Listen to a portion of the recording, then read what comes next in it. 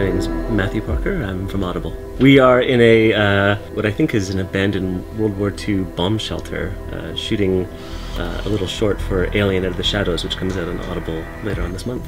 Hi, I'm Guy Thompson. I'm the art director on today's shoot. So I think largely working with the space that we've got, we've added a lot of practical lights and sort of piping and wiring. You see a lot in these films. It's very textured. Also a lot of personal touches. Those things that really set the set off are the things that help you believe the guys have been living here for X amount of months or whatever it is.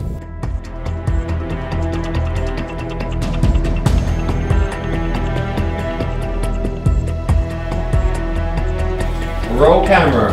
Three, take one. My colleague Steph came up with the idea, uh, dreamt up this idea of a guy who was on the the mining uh, ship, uh, somewhere between. It takes place between the first Alien movie and the second one, and he's uh, sending a message home to his family and gets a little surprise in the middle of his broadcast.